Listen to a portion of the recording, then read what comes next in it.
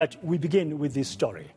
It is what it is. This is how President Matamela Cyril Ramaphosa has reacted to the corruption charges against Nosiviwe Mapisa Nqakula, the former Speaker of the National Assembly. She's been granted 50,000 rand bail and her case has been postponed to the 4th of June. ENCA senior reporter Siphamandla Goge spoke to the president who says the former National Assembly Speaker should be commended for stepping down.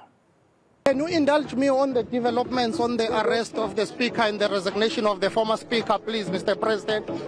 Well, you've seen what you, you've seen what has been reported in the news, and it is what it is, and so the process continues in the way that it is unfolding, and uh, and the speaker, the former speaker, said that she wants to resign, uh, not so much because she's guilty.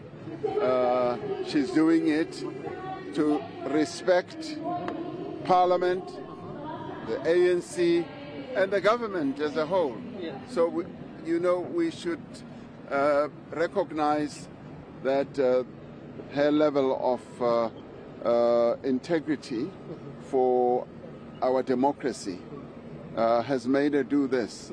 And that should be commended and that should be applauded.